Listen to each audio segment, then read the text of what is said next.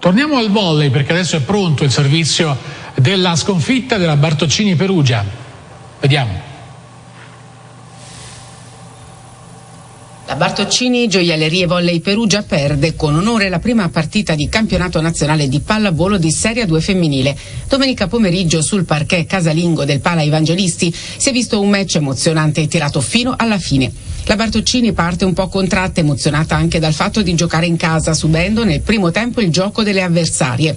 È Ononu per le ospiti a fare la differenza mettendo a segno anche 5 ace su battuta. Dall'altra parte la Bartoccini è stata meno precisa del solito in ricezione. Nel secondo quarto le padrone di casa cominciano più convinte, impostano bene il gioco e si impongono 25 a 18. Ben diversa la terza frazione con un inizio equilibrato e poi con le perugine in avanti fino al 17 a 15. Subito dopo le avversarie cambiano marcia fino a chiudere con il punteggio di 20 a 25. Decisamente coinvolgente il quarto set che cammina in perfetto equilibrio. Ai vantaggi però la spuntano le giovani del Club Italia che hanno sfoderato un po' di grinta in più abbiamo cercato di utilizzarle in chiave sia tecnico che tattica tutte le nostre risorse o perlomeno quanto più possibile.